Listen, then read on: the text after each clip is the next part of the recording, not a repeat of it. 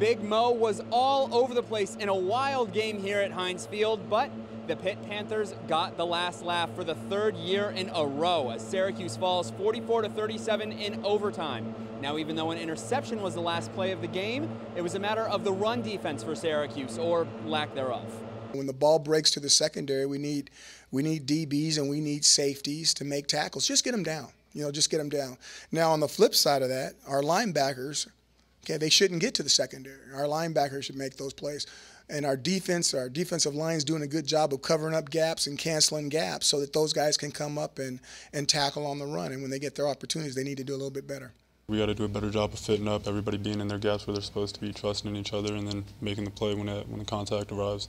The Orange has given up almost 300 rushing yards for the second week in a row, but they have two weeks to figure it out. After a bye week, they return home to face UNC on October 20th.